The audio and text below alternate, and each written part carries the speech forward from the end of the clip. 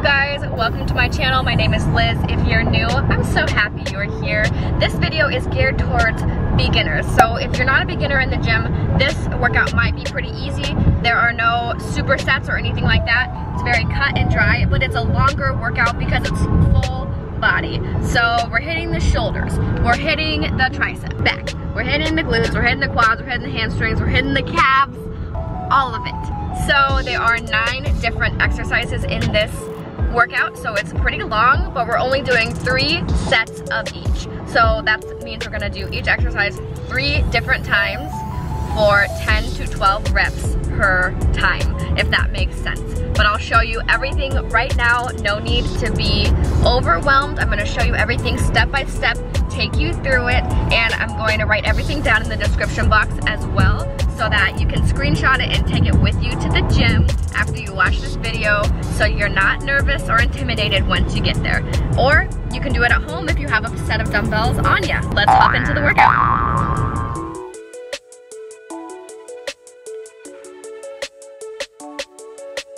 Today we're doing a full body beginners dumbbell only workout. I'm gonna start with shoulders. Oh, we're gonna start with shoulder press. It's super simple. Grab your dumbbells like this, put them over your head with your elbows in alignment with your shoulders. So, and then you just press up to meet at the top. You don't wanna smash your dumbbells together because that's a short sign that you don't know what you're doing. So try not to smash them at the top. And do 10 to 12 reps of all of these exercises.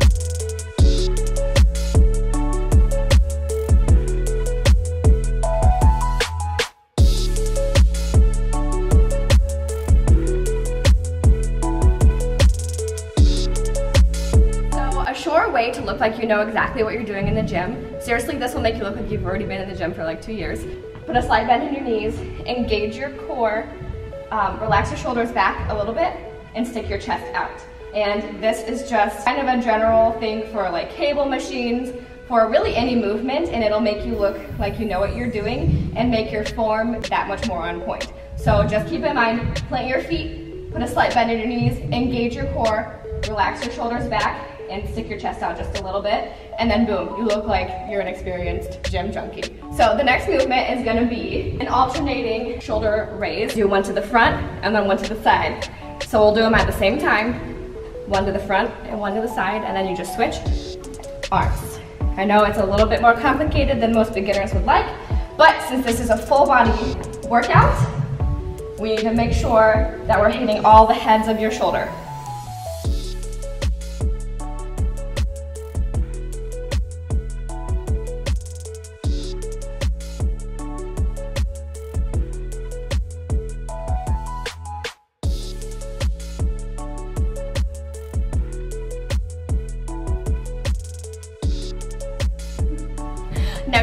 A regular bicep curl. So just like I said before, your knees need to be shoulder width apart. Put a slight bend in them, engage your core, relax your shoulders back and stick your chest slightly out. You're gonna pinch your elbows in at your waist, really tight, and then you're just gonna curl up.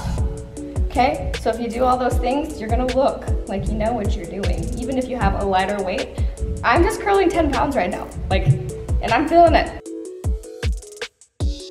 Don't feel embarrassed if you're starting lighter.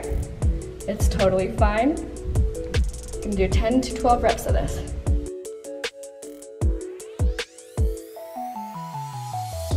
So now we're going to do rows. There's a couple different variations of rows. These are called rows because when you're seated, doing with a cable row, for example, it looks like you're rowing a canoe or a boat or any kind of vessel that floats on water.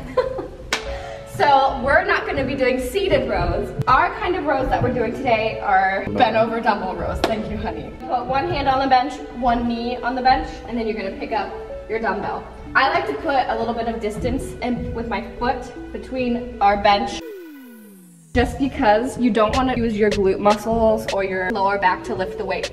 You want to solely focus on lifting the weight with your back. So honey, my lovely assistant, can you poke right where we're gonna need to focus the weight? If you need to have someone do this, it really does help to have that mind to muscle connection if someone pokes right where you need to be focusing. So you just roll the weight slowly and really focus on squeezing the muscle at the top and not using any other body except for your back and the pulling arm.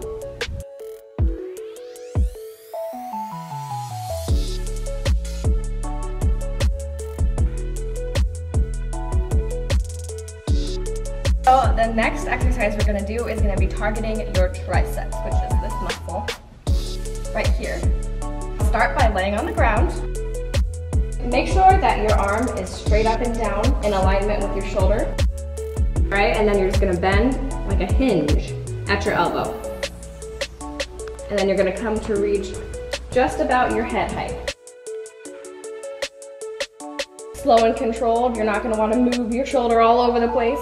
Lock it in place into the ground and then hinge at your elbow slowly. There are other variations that you can do of this particular exercise. I prefer this because I feel like it targets my tricep the best. You can even hold it at your elbow so you're making sure you're not swaying, moving, rocking. For all of these exercises, you need to make sure that you're challenging yourself with the amount of weight you're using. Even if you are just beginning in the gym, maybe starting with the second week, start challenging yourself with the weights.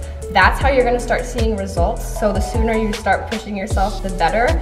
Um, intensity is everything in the game of fitness and seeing results in general. So make sure that you're pushing yourself with the amount of weight you're using with every exercise.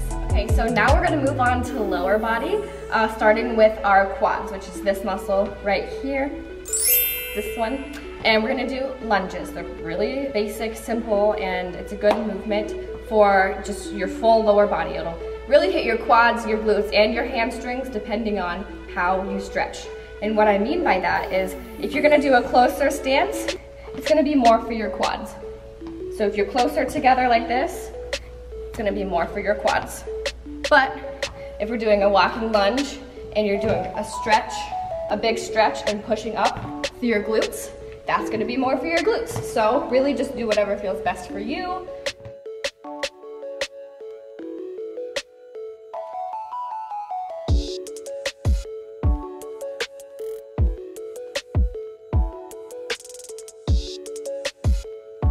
The next exercise we're doing is a straight-legged deadlift. It's really important that you incorporate some form of deadlifts into your workouts. It's a compound movement that's gonna hit all the muscle, muscle all, all the important muscles. It'll hit your shoulders, it's gonna hit your glutes and your hamstrings really hard. So let me show you how to do it. It's intimidating at first, I know, but you have to try it. That's why it's good to sneak off into a side room or even if you're doing this at home. Like I said before, your stance, a slight bend in your knees. You're gonna wanna push your shoulders back and stick your chest out just a little bit. Engage your core. It's very, very important when you're deadlifting. You're gonna hinge at your hips. It's like kind of you're sticking your butt out, okay? And you'll feel really, really good stretch in your hamstrings. And then pull up and squeeze those cheeks, sister. It's very important. Or brother. Just squeeze your cheeks, whoever you are. So important that you're not bending your back like this, right? So bad. This hurts just doing this. So you need to engage your back, flat back, not overarched flat back.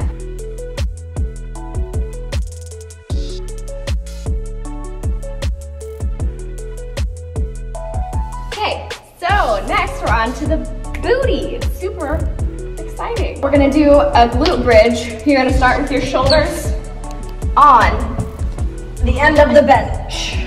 And we're gonna do single leg glute bridge because with a dumbbell, it's kind of hard to push yourself with the weight because it's not gonna be like super heavy. And your glutes, my glutes are really strong, so I find that if I do single legged, I get a better burn in my glutes. Plus I can overextend a little bit, which I personally need.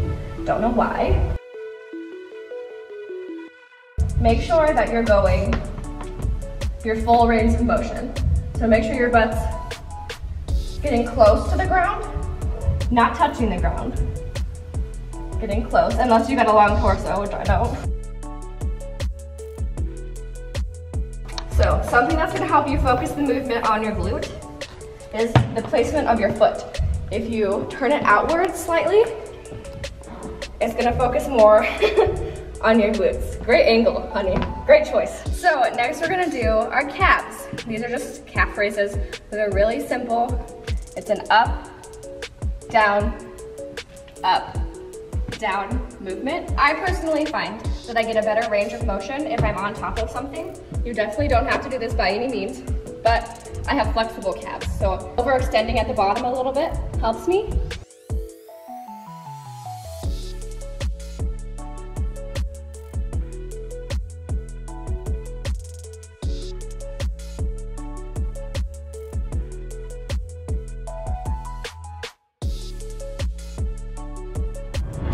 So that is it for today's video. If you enjoyed it, which I hope you did, make sure you give it a thumbs up and subscribe to my channel if you're new. I upload usually about two videos a week, definitely one. I do a lot of motherhood and fitness style content, but I'm planning a wedding right now, so that's why my content has been a little bit more vlog style, but I love health and fitness. My goal for my YouTube channel is to help my subscribers become their most healthy and thriving selves, and overall just teach you how to live a more vibrant life. I have a very practical approach to healthy living and fitness and I like to share that with you guys and show you that it doesn't have to be crazy complicated and show you easy ways to commit to your health and commit to yourself. So if that's something you're interested in doing, make sure you subscribe, stick around, and turn on your notification bell to be the first to be notified every time I upload a new video. It's just that little bell next to the subscribe button. You hit that and it'll say, hey, Liz Aldinger just uploaded a new video. Make sure you stick around and we'll see ya on Tuesday. Bye. And don't believe in make believe, just make your hands meet. Say a weekend and a week and never stress a thing. And we gon' go another day when we don't disagree. And when the sun's shining, regardless if you do believe. Hey, still awaken in the morning when I see your face. Need you more when you go, I need you more every day. Keep a foot on the